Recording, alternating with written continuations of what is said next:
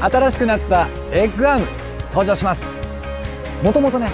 すっごい可愛いデザインだったんですけれ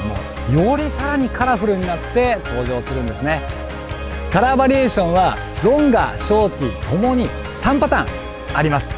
ものすごくねカラフルなので、まあ、こういった感じで服装に合わせたり持ってる小物に合わせたりして楽しむのもいいかなと思います。そしてこのリールがついてるリールシートの部分ここが卵型。エッグ型になってめちゃめちゃ持ちやすくなってるんです。長さはねロンガーの1 2 0センチショーティーの5 5センチ。ここは変わってません。そしてこのリールをつけるリールシートの部分と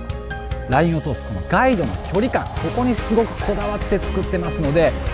このリールがですねスピニングベイトどちらも装着可能だし皆さんがねもしも釣りをされててリールをお持ちであればそのお持ちのリールをそのこのエッグアームにつけて使っていただくことができます。使い方としてはエッグショット。これをつけて例えば消波ブロックの中に上から落とし込んでいったりだとか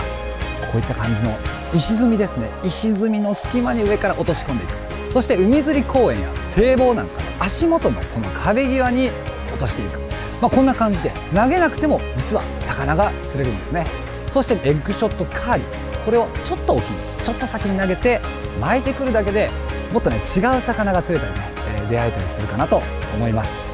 まあ、このエッグショットエッグショットカーリーの先には例えばサバの切り身だったりイカの切り身といった、まあ、生きた餌じゃなくてもねあの魚を魚が釣れるそういった餌をつけて使用することが可能になってます。誰でも気軽にねトライできる釣りかなと思いますのでこの新しくなった